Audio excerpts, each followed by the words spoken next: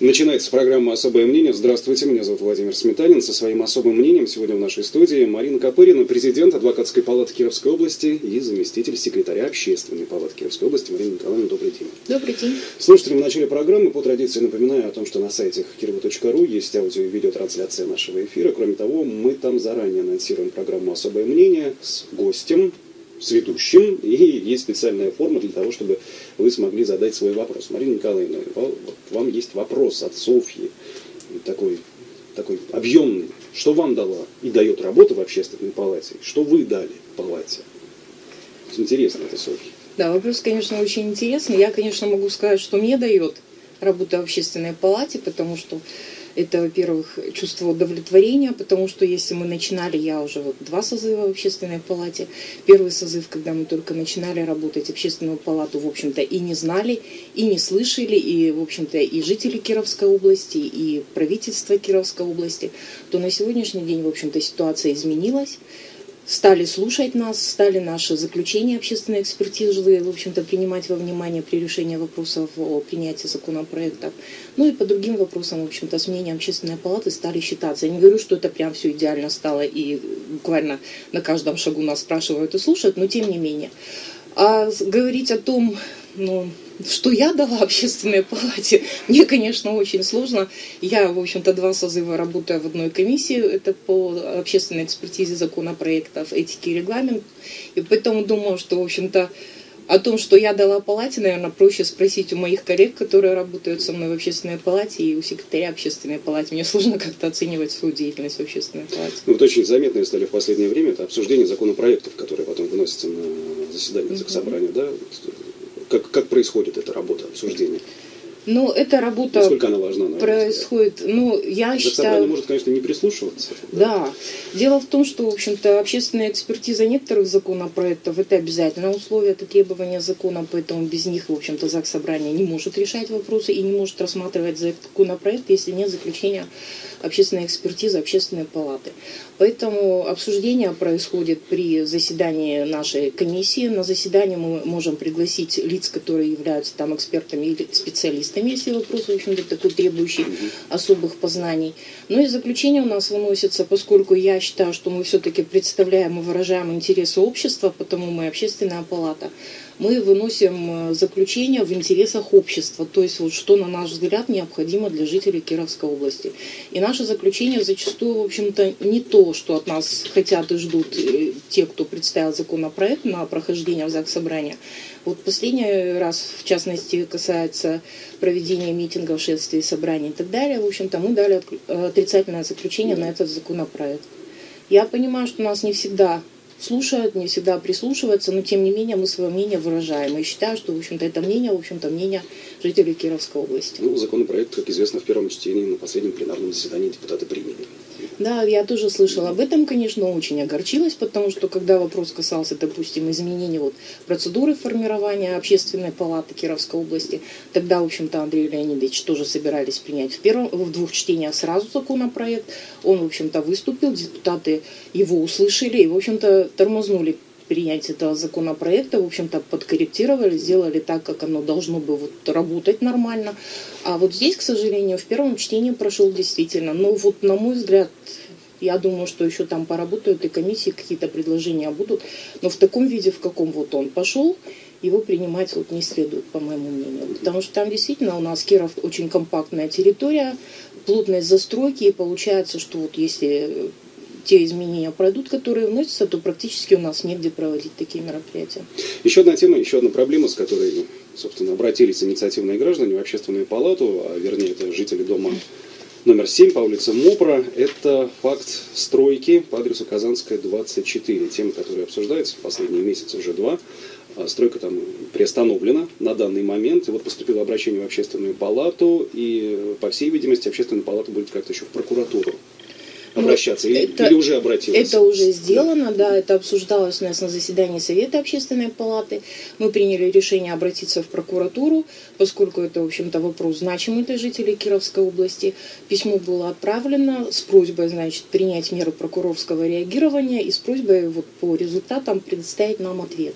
Но пока вот ответа этого мы не получили, но я думаю, что работа это, в общем-то, идет. Но позиция палаты, она однозначно, стройка да, не, не должна незаконная. быть. Ну вот в той этажности, в которой она на сегодняшний день, да, 11 этажей, как они говорят, что один это цокольный, и технический этаж, как этажи считают, что у них согласовано было 9 этажей, что это все нормально. В общем-то, если там 10-12 метров здания, то никак оно не должно быть 33 этажа. То есть та часть города, в общем-то, должна быть э, в той норме, в которой она выстроена на сегодняшний день. Это историческая часть города, поэтому, в общем-то, они должны считаться не только со своими коммерческими интересами, но и с интересами жителей Кировской области. Есть какие-то сроки ответа от прокуратуры? Ну, там ждете? месячный срок угу. обычный. Это по существу уже должен быть Ну, ответ? да, или если мерам. нет угу. окончательно результата, допустим, я ведь не знаю, насколько у них там, может быть, какие-то материалы проверки идут, может, какое-то уголовное дело возбуждается, всякое ведь бывает. Поэтому в этом плане плане они промежуточный ответ, все равно месячный срок должны дать. Ну, о деятельности прокуратуры я вас еще спрошу чуть позже, а теперь хотел бы затронуть такую трагичную тему. Накануне в нашем городе э, произошел очередной случай гибели человека в отделении полиции. Мужчина, как сообщили СМИ, 38-летний, приговоренный за неуплату штрафа к 7 суткам административного ареста, скончался в спецприемнике вчера утром. Ну, понятно, что дело, понятное дело, что такого быть не должно. Как, как избежать таких фактов? Вы знаете, я вот это к трагедии не отношу на сегодняшний день, и вот именно вот этот факт. Mm-hmm. Потому что, вот согласитесь, если бы вот эта ситуация произошла в обычных бытовых условиях, то человек бы спал дома, и с ним случился инфаркт или инсульт, то, в общем-то, никого бы это не заинтересовало, никакой огласки бы не произошло. Поэтому, конечно, надо разбираться в ситуациях. Я понимаю, когда факт смерти, допустим, связан со злоупотреблениями работников там полиции, тогда, да, действительно надо бить во все колокола и тревогу бить. Но вот на, по этому факту я тоже посмотрела как бы всю информацию, которая есть вот на сегодняшний день в прессе. Там, в общем-то, ничего, кроме самого факта, что скончался мужчина утром 8 июля, в общем-то, никаких фактов нет, что там какие-то злоупотребления со стороны сотрудников, еще чего-то. Конечно, говорить о том, что там реально произошло, можно только после того, как будет проведена медицинская экспертиза, которая на сегодняшний день, в общем-то, и проводится. Но вот в той ситуации, вот насколько у меня есть информация, что там злоупотреблений со стороны полиции не было, это, в общем-то, рядовой бытовой случай. И могло это же случиться, если там инфаркт или инсульт, это в обычных домашних бытовых условиях. А сам факт того, что человек на 7 суток за неуплату административного штрафа, не слишком ли? Жестко. Насколько ну, я помню, кодексом еще предусматривается обязательные работы. Там ведь видите, работы. там выносит решение мировой судья, который, в общем-то, с учетом личности и с учетом всех обстоятельств дела определяет меру наказания. Поэтому мне сложно судить, почему именно такое наказание вынесено. Я не видела материалов дела. Но если говорить о том, что вот именно административный арест, то, скорее всего, товарищ, который либо не работал, либо не имеет источника доходов, то есть там ни штраф, ни иные работы, которые могли бы быть к ним нему применены, в итоге были бы неисполнимы. Поэтому вот когда вот такая ситуация, в общем-то, по-другому не наказать, тогда прибегают к административному аресту.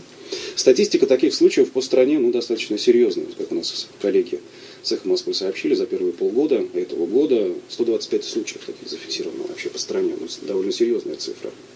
Ну вот я говорю, что надо в каждом конкретном случае разбираться. Потому что если это действительно вот поместили, насколько там информацию, что он не жаловался, никаких там претензий к своему здоровью не высказывал, и, в общем-то, и у сотрудников, которые, в общем-то, осуществляли контроль за его нахождением в этом спецприемнике, тоже не было никаких оснований, в общем-то, для тревоги, если он сам не подавал, значит, никаких заявлений о том, что ему там плохо. Или когда он об этом сказал, в общем-то, сразу приняли меры, вызвали скорую помощь, пытались там сами ему первую помощь оказать.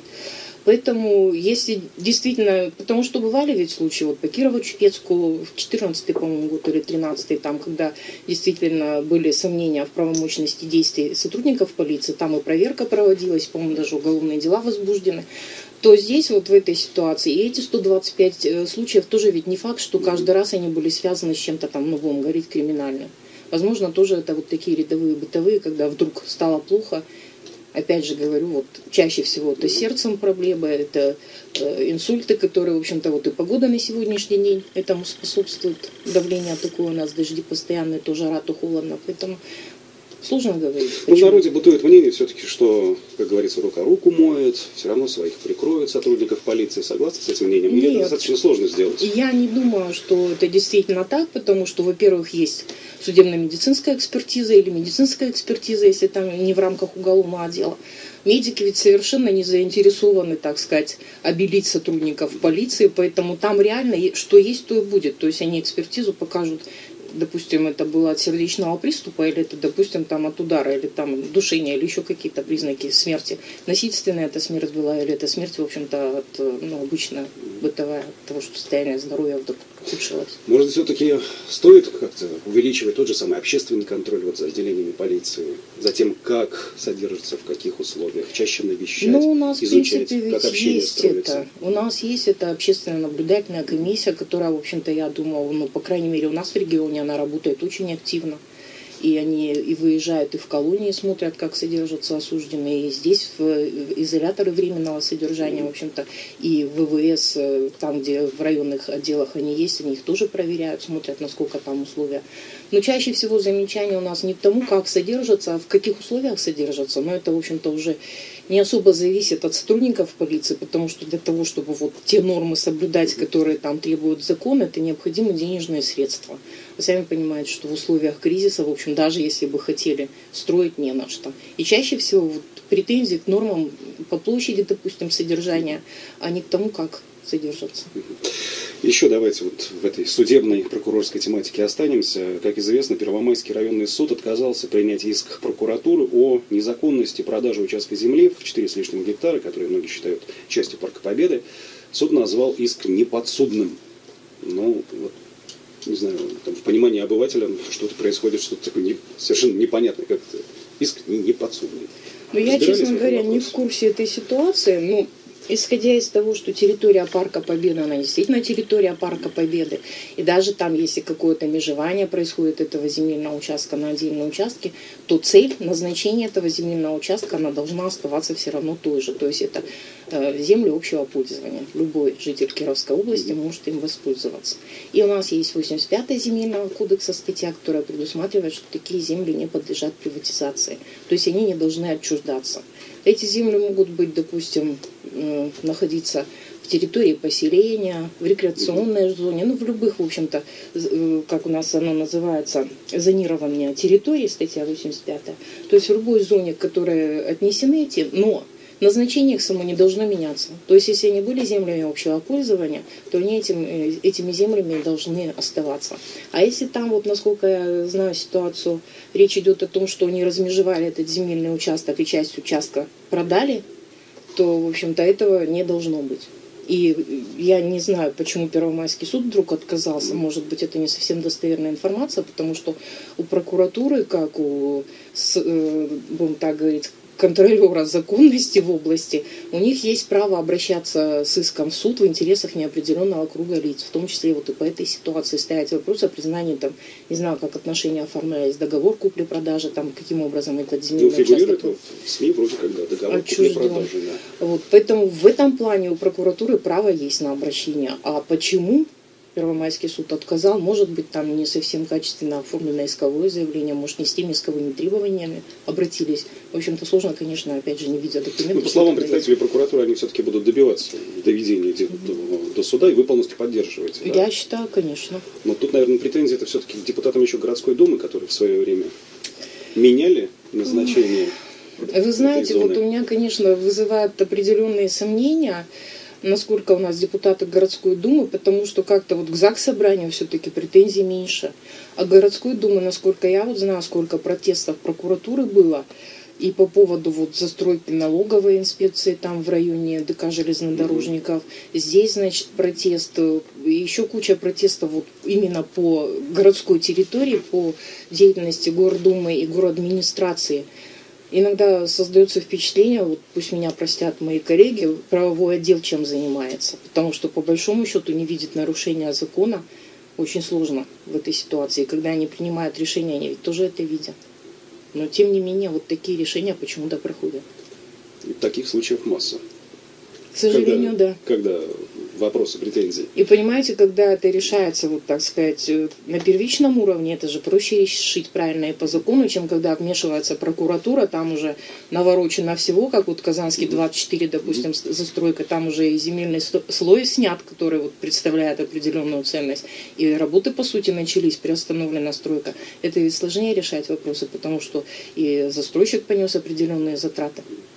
Насколько реален сейчас вот в нашей ситуации, на ваш взгляд, отмен, а, точнее ликвидация, аннулирование этого договора, договора купли-продажи? Многие на это надеются, об этом говорят. И, ну, считают... Я, конечно, не видела документов, но я считаю, что Парк Победы, он и должен оставаться Парком Победы. И пусть там даже если для каких-то целей там может быть необходимо было размежевать этот земельный участок, то все равно назначение этого участка должно остаться землей общего пользования. То есть люди должны пользоваться, как пользовались. У нас не так много территорий этих осталось в городе, где реально можно отдохнуть, где можно погулять с детьми и, в общем-то, показать красивое место ребенку своему. А как оцениваете да? деятельность активистов, которые собирали подписи, более 6 тысяч подписей, передали их в Ну, слава богу, что у нас есть вот такие неравнодушные, которые, в общем, да, которые видят вот эти нарушения и, ну, когда вовремя, когда не совсем вовремя, но тем не менее вмешиваются. Это вот и касается Дворца пионеров, да, когда там тоже благодаря вмешательству активистов к нам в общественную палату обращались и в город, и везде, в общем-то, куда можно было, туда обращались, чтобы каким-то образом вот среагировать на эти незаконные действия. Но это скорее такой общественный резонанс, нежели реальная помощь там, той же прокуратуре, потому что там все в рамках закона. Там... Нет, ну понятно, что общественники, даже ночной дозор, патруль наш, mm-hmm. который работает, они тоже, по сути, добровольные помощники, и они реальных каких-то властных полномочий не имеют. Поэтому и все выступления общественности, ну, по крайней мере, когда внимание привлечено, когда пресса освещает события, то я думаю, уже, в общем-то, более тщательно и э, более законно будет решен вопрос. Mm-hmm. У прокуратуры, как известно, и к тому же у Федеральной антимонопольной службы есть претензии и к инвестиционному соглашению на реконструкцию центрального рынка. Инвестиционное соглашение заключено с компанией БСП Инвест Плюс. Там должен, напомню, появиться универсальный рынок с торгово-развлекательным центром, вот так называется проект. У правоохранителей, в частности, есть сомнения в том, что компания сможет выполнять все условия этого соглашения. Обоснованы вот это такие опасения, на мой взгляд? Ну, я думаю, что это не случайно, и опасения, наверное, обоснованы, потому что вот район застройки ипподрома, когда там две коробки возвели, и строительная компания исчезла с успехом, потратив наши денежки. Поэтому, когда у нас вот не наши строительные компании, а, ну так, извините, скажу, заезжие молодцы начинают строить, да, всегда возникает сомнение, насколько это реально потом доведут до конца. Потому что, понятно, землю они получат в центре, земельный участок будем говорить, имеет большую стоимость, место очень выгодное, то есть то, что им надо, они реально сделают, а потом то, что они обещают городу, выполнят или нет условия, поэтому мы, когда вот этот вопрос обсуждали тоже, э, это зависит все от того, насколько заключено соглашение, что в соглашении прописано. Хотя даже вот э, с учетом того, что и в соглашении может быть ряд моментов отмечен, то есть, что там они обязаны, допустим, столько-то мест предоставить вот для торговли на рынке, допустим, там 50 или 100, да, ну так я образно говорю, э, количество мест, то реально потом можно ли будет с них, даже если они не будут исполнять добровольно, принудительном порядке заставить их исполнить это соглашение. То есть это, в общем-то, вопрос такой открытый. Там прокуратура еще ссылается на то, что при уставном капитале 100 тысяч, э, простите, 10 тысяч рублей, там ну, это сумма санкций 70, 70 миллионов, ну, как-то подозрительно. Ну, обычная ошка, то есть для того, чтобы открыться, зарегистрироваться, достаточно в уставный капитал внести такую сумму, а потом сами понимаете, что обращаясь взыскание, 10 тысяч это не та сумма, которая может реально покрыть какие-то расходы. Ну а сама идея реконструкции центрального рынка, как вам? Вот из того, ну, сама вы видели, идея... читали. Ну да, сама-то идея, если бы оно действительно так оно случилось, как планируется, это же, конечно, в центре города будет нормальный цивилизованный торговый центр, торгово-развлекательный, то есть там и сохранится места для работы индивидуальных предпринимателей, и плюс к тому еще появятся дополнительные условия услуги. Это было бы, конечно, здорово. Только как оно реально будет? С кого спросить потом? Да, с кого спросить, потому что с таким уставным капиталом и чаще всего потом оказывается, что брать-то не с чего. В последнее время тоже еще обсуждается широко э, ярмарка Комсомольской, ее будущее, по данным городской администрации, 31 августа этого года, ну все, заканчивается угу. срок ее да, пребывания на этом месте. В планах все-таки там возведение парковки, парковки платной. Вот ваше мнение по этому поводу? Ну, я, знаете, здесь буду говорить как обыватель, как э, покупатель вот этого рынка. Я бы вот была заинтересована в том, чтобы этот рынок был сохранен потому что Вы там, там лично приобретаете? Я лично там приобретаю фрукты, всегда благодарю, хоть муж и говорит, что тебя обсчитывают обвешивают, и ты говоришь спасибо. Бог с ним даже так, если, но, по крайней мере, там всегда свежие овощи и фрукты, и всегда они намного дешевле, чем в других, даже вот по сравнению с другими рынками города, там почему-то цены всегда держатся самые дешевые. Ну, и тем более с магазинами по сравнению. Да, с магазином тем более. Ну и там есть право выбора. То есть, если ты приехал даже в просторы, у них, как говорится, там черешня одна лежит, и больше никаких нет э, других, э, будем так говорить, то здесь можно и выбрать и черешню, и вишню, несколько сортов у них бывает, вот помидоры сейчас, допустим, пошли, да, тоже там свежие есть у них и южные азербайджанские, и краснодарские, и наши тепличные красногорские, в общем, э, выбор есть. И цены, соответственно, и плюс еще места рабочие по большому счету, вот, я не знаю, честно говоря, какое там количество, но пусть даже 30-40 человек, которые, в общем-то, с прекращением деятельности рынка опять будут выброшены, по сути, на улицу. Но по, официальным, по официальной информации, по информации вот этой компании «Веткорос», 200 э, человек порядка. Там, ну, там, труд, там трудятся. Они ведь, кстати, обращались в общественную палату в свое время. Я вот не помню такого обращения, честно говорю, потому что вот то, что по центральному рынку вопрос поднимался, мы как бы рассматривали, насколько это реально и как там лучше оформить эти отношения. Вот э, по застройке незаконной в районе Дворца пионеров, по налоговой эти обращения были. А вот по центральному нет. Вот, по-моему... По ярмарке. Да, по ярмарке это не было. Поэтому я, честно говоря, даже не знаю. Может быть, просто мимо нашей комиссии прошло, может быть, кто-то другой рассматривал, но я этого факта не знаю. В общем, вы как потребитель, покупатель заинтересованы в том, чтобы этот... Я лично, да. А сам его внешний вид, сама внешность? Ну, вот, ну, может быть, конечно... Не современный. Если бы... Можно ведь решать вопросы по-разному. Можно решать вопрос не о постройке там парковки, платной или бесплатной, неважно парковка-то ведь есть там, и в районе этого круга разворотного есть парковка, и там, в общем-то, есть места, где можно под парковку использовать. А там жалуются на то, что жители ближайших домов просто-напросто ставят на этих парковках автомобили, и все. Mm. Приезжим нельзя уже. Но это вопрос уже другой, это ведь все можно отрегулировать, это ведь все зависит от администрации города, как они этот вопрос будут решать. И там в том числе ведь можно порешать вопросы о том, чтобы ну, обиходить, будем говорить, эти рабочие места, рынок переоборудовать, поставить современные павильоны, там это ведь тоже вопрос решаемый, он будет нормально смотреться в городе. Ну, ваш коллега, кстати, по общественной палате, Николай Пихтин, он за то, чтобы там ну, рынка не было, но чтобы была такая оборудование, оборудованная хорошая аллея с хорошей брусчаткой, чтобы ну, можно было пройтись вот прямо ну, к ЖД вокзалу или от, от него идти и наслаждаться видами. Это, конечно, мечта ну не буду грубо говорить, но тем не менее, вы сами понимаете, что реально этого никто не сделает. Если даже уж рынок и люди, которые там работают, могут убрать и не будут с ними считаться, то говорить о том, что там будет какая-то аллея, по которой мы будем ходить и наслаждаться, то это вообще маловероятно. Ну, невероятно даже. Как быть с предпринимателями, которые там работают? Им нужно предлагать альтернативу в обязательном порядке. Нет, ну им будут, конечно, предлагать альтернативу учить. в район Ганина или еще куда-то, то есть те места, куда никто из кировчан ездить не будет. И все это реально понимают, что хотя вроде бы как предложение есть, то есть вроде бы как их не совсем лишают работы и рабочего места, но тем не менее то рабочее место, которое предлагается взамен, оно, в общем-то, очень неравноценно. Уполномоченный наш по защите прав предпринимателей Андрей Вавилов призвал этих предпринимателей все-таки присматриваться к площадям в торговых центрах, которые арендуются. Он готов содействовать о том, чтобы арендная плата была подъемной, как-то поменьше. Даже готов организовывать некую школу современной торговли, то есть объясняется, ну, с привлечением специалистов, естественно, что вот есть еще форматы такой торговли. Вот, вот такая помощь. Пройдет? Ой, ну, понимаете, вот по большому счету они ведь почему торгуют вот именно в этом месте? Потому что там небольшая арендная оплата. И говорить о том, что там вот торговая площадь, да, конечно, там и вроде как и комфортнее, и места поприличнее, и все, но тем не менее там арендная оплата гораздо выше. И говорить о том, что уполномоченный по правам предпринимателей какие-то вопросы решит, я понимаю, что он будет пытаться, но не факт, что собственник, который сдает в аренду эти торговые площади, его услышит и пойдет навстречу. Это все-таки бизнес. И поэтому говорить, что там существенно будет снижена арендная оплата, в общем-то, маловероятно. Понятно, что можно там и маркетингу поучить, и еще там чему-то поучить, но они, в общем-то, в этом не нуждаются. Им, наоборот, нужно место, которое будет вот для них минимально стоить аренда этого места. С другой стороны, сейчас огромное количество сдаваемых арендных площадей, может быть...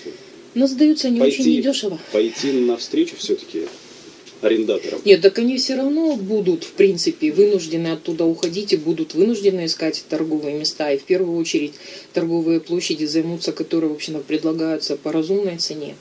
Э, действительно, право выбора-то есть сейчас на сегодняшний день. Очень много торговых площадей пустует. Я смотрю даже такие вот брендовые марки типа Байлерса, которые, в общем-то, раскручены и давно на рынке кировском, да, они все-таки сокращают свои торговые площади, как-то концентрируются. Поэтому говорить о том, что у нас прям все замечательно и прекрасно, сложно.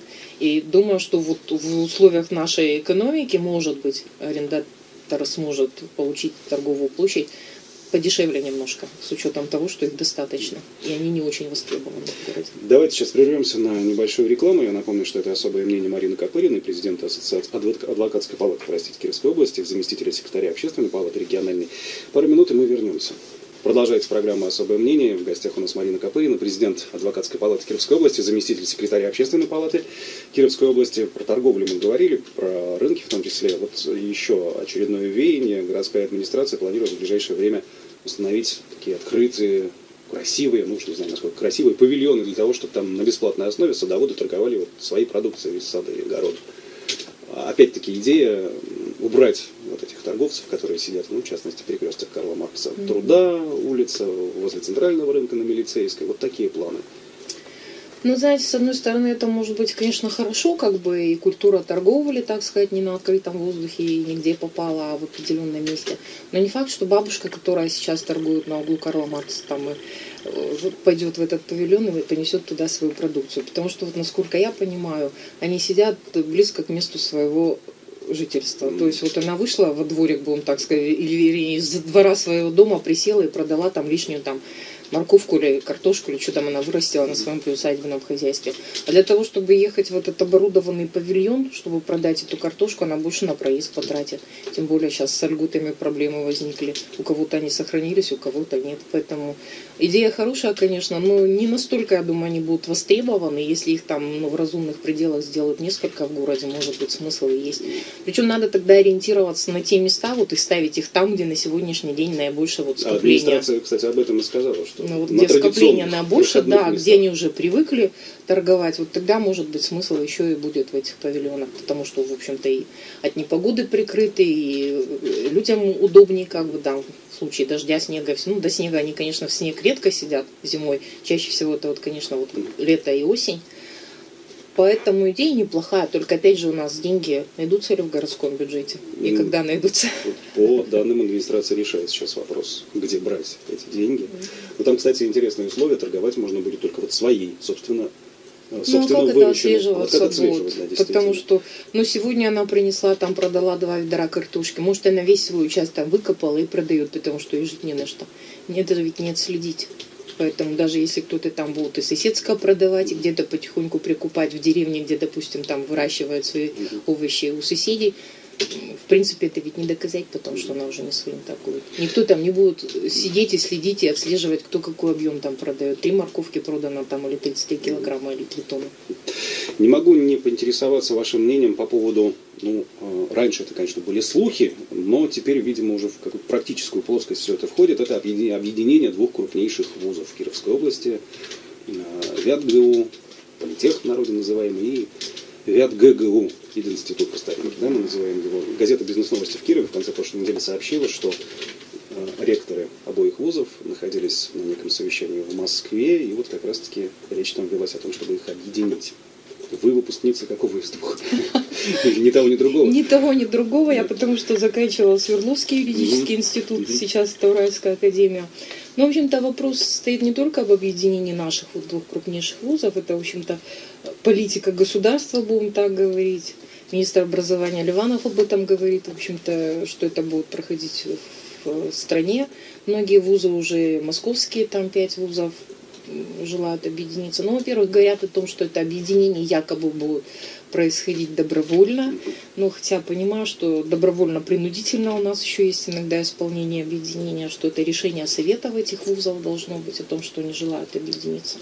Но здесь тоже, наверное, свои плюсы и свои минусы, потому что Ну, понятно, когда объединяется и создается что-то более крупное, то и в более крупном можно решать более крупные масштабные задачи, да.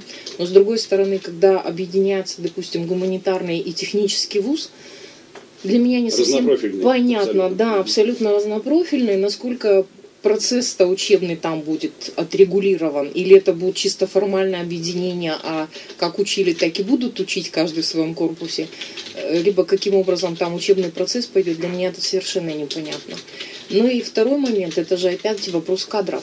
Потому что понятно, что когда будут объединения, это будут сокращения. Потому что нереально сократить. Говорят о том, что вот это объединение связано с тем, что демографическая политика, что опять выпускников школ стало меньше, что из-за этого, в общем-то, и объединение. Но и по поводу сокращения, куда будут пристраивать тех преподавателей, которые, в общем-то, вынуждены будут покинуть и в основном, я так полагаю, это ведь коснется молодых в основном преподавателей, потому что у нас э, определенные правила заложены в Трудовом кодексе, и под сокращение подпадают те, по сути, кто приходит последний. Ну а плюс-то в чем? Ну плюс только в том, что я так полагаю, посмотрела, что будет какое-то финансирование там осуществляться дополнительно на период 16 по 20 годы то если под это объединение и под эти вузы будут давать какие-то дополнительные денежки, то понятно, что на них можно что-то сделать. И в плане оборудования там, помещений для учебного процесса, и в плане там, э, приобретения каких-то, может, современных технологических средств, там еще что-то. Но вот в этом плане плюс, наверное, будет. А по э, словам э, ректора Вятского социально-экономического института Владимира Сизова, это будет такая монополия. А он против монополии. Против монополии. Ну, нет, разделяете? Ну, монополия это сложно сказать, потому что ведь все равно у абитуриента есть право выбора, куда он пойдет, либо в этот крупный вуз, либо он пойдет в маленький вуз. Ведь у нас есть и небольшие вузы, которые, в общем-то, очень хорошее качественное образование дают, и к ним нет абсолютно никаких претензий ни у государства, в общем-то, и частные вузы есть, которые, в общем-то, качественное образование дают.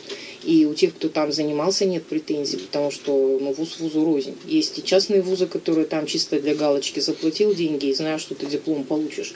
А есть вузы, которые частные, но там, несмотря на то, что платное обучение, со студентов спрашивают так же, как в обычном вузе. То есть учебный процесс организован достаточно на высоком уровне. И поэтому говорить о том, что если укрупнили два вуза и создали монополию, это сложно. Потому что Э, нет ведь обязаловки, будем так говорить, у абитуриентов, что вот именно сюда идите и сдавайте экзамены. Это все равно их право выбора. Они, может, наоборот, предпочтут пойти в маленький вуз учиться, где там немного э, ребят, и, по моему мнению, где меньше группа, там больше уделяется внимания преподавателям, больше знаний получают студенты. Еще у нас остается несколько минут. Я хочу поднять тему э, капитального ремонта в той части, что фракция «Справедливая Россия» внесла в Госдуму законопроект об освобождении россиян старше 80 лет от обязанности платить, собственно, этот капитальный ремонт. В пояснительной записке говорится, что сроки проведения капремонта определены в 25-30 лет. Выходит, что одинокие пенсионеры старше 80 лет вынуждены платить за неполученные услуги по понятным причинам. Не смогут дожить просто-напросто. Популизм. Вопрос, конечно, очень сложный, и я, может быть, не совсем правильно себя веду, когда говорю откровенно о капремонте. Я уже неоднократно об этом говорила, что закон очень сырой, очень недоработанный, даже не касаясь 80-летних людей а вообще. И э, тот факт, что у нас создан фонд капитального ремонта, это, в общем-то, в плане юридическом очень такое хитрое понятие, когда туда деньги вкладываешь, но оттуда ты их никак не возьмешь. Так уж я говорю образно. Поэтому э, даже сама процедура вот этих отчислений на капремонт, и это длительный период, 20-30 э, лет, тоже касается домов новой застройки, которые на сегодняшний день ни в каком капремонте не нуждаются, но которые тоже обязаны платить э, отчисления на капремонт. Поэтому хорошо, когда есть ТСЖ или управляющая компания, которая реально думает о тех, кто там живет в этих домах, и создают свои спецфонды. Там уж четко, да, спецсчет, да, куда перечисляются денежные средства. То есть там реально еще можно отследить судьбу этих денежных средств и решить вопрос, куда их потратить. А то, что вот э, региональному оператору, я не хочу обидеть регионального оператора нашего, но у меня большие сомнения в плане того, что вот оно пойдет все так, как задумано. А что касается 80-летних, это действительно так сказать, благотворительность, фонд будущих поколений. Потому что реально, если дом там новый, бабушка живет в однокомнатной квартире, она вынуждена платить на отчисления на капремонт, Ну да, Бог ей здоровья, конечно, но 10 она, ну 15 лет проживет, она не доживет до этого капремонта. Ну, есть ведь у пожилых людей, не знаю, дети более молодые. Ну, не у ну, всех, но тем не менее, дети, если есть, они свою нагрузку финансовую могут говорить несут. Они за свое жилье, которое занимают, они тоже оплачивают расходы на капремонт. Поэтому э, вот мое мнение, надо было все-таки нашему правительству запустить пилотный проект в несколько регионов и посмотреть на протяжении нескольких лет, как этот закон будет работать. Плюсы, минусы, недочеты, а потом уже распространять на всю страну. А сейчас получается, что мы этот ушат воды вылили на Россию и не знаем теперь, как оттуда Вы, выплыть. ну, вы наверняка видели, да, эти цифры, эти данные о том, сколько в этом году собираются уже отремонтировать, э, и какова собираемость этих взносов. Ну, там явно не состыковка, да? Так оно так и будет, потому что, во-первых, и нереально для многих платить эти отчисления, потому что сумма ведь получается не маленькая. А будем так говорить, средний уровень жизни в Кировской области, он не настолько высок, чтобы так вот свободно, даже тысячу рублей кто-то там мог своего семейного бюджета в месяц платить неизвестно куда. Но при всем при этом обратного пути нет. Но пока нет, пока не внесли изменения, пока закон вот в таком виде действует, мы как законопослушные граждане должны его соблюдать. Я благодарю, завершается наше время, благодарю Марину Копырину, президента адвокатской палаты Кировской области, заместителя секретаря общественной палаты Кировской области за визит в нашу программу. Спасибо большое, до новых встреч, всего доброго. До свидания. свидания.